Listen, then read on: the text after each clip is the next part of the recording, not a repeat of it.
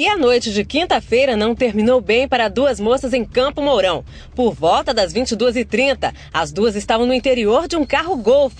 Foram surpreendidas pela polícia militar, que descobriu algo inusitado na bolsa de uma delas.